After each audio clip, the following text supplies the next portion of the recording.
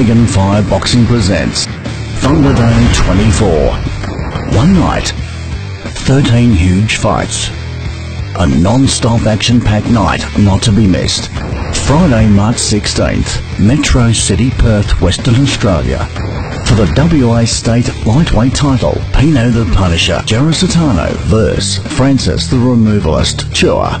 For the WA State Super Middleweight title, Will the Kill Chope, representing the United States of America, vs. Milad the Monster, Farzad, representing Australia.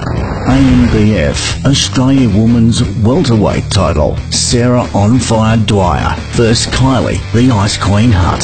for the WA Metropolitan Middleweight title, Show on the Sandman Watkins vs. Vittorio, the Phil Italian Stallion Agostino. Jacob, You Can't Hide McBride. Action Jackson. Bryce, the Filipino Flash Rulo. Man Mountain Shane Smith. Troy Deathrow Humberstone. Corey L. Ramler. Fano.